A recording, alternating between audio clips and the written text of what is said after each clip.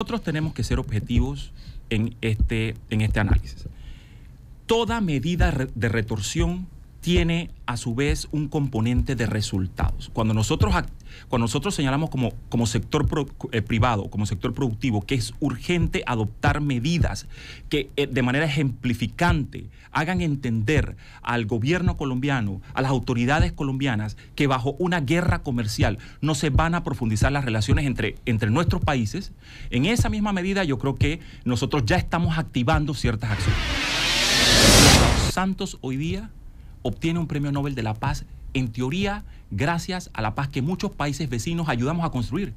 y, nosotros pagamos por esa paz. Nosotros pagamos con la inmigración irregular, nosotros pagamos como punto de tránsito internacional y fuimos castigados a nivel global, supuestamente como un punto de tránsito de productos que se originaban en Colombia. ¿Qué tipo de productos? Ya sabemos cuáles. Exacto. El punto es que a él no le tembló la mano para supuestamente negociar un acuerdo de paz a costa de todos nosotros. Pero tampoco le ha temblado la mano para que pocos días después de llamar a la paz, firme la guerra comercial contra Panamá. Y eso es lo que se avecina. ECO te invita a revivir este contenido entrando al canal 1 de VOD de Cableonda.